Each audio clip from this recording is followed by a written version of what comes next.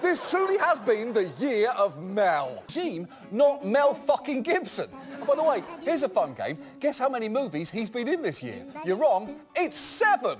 This truly has been the year of Mel.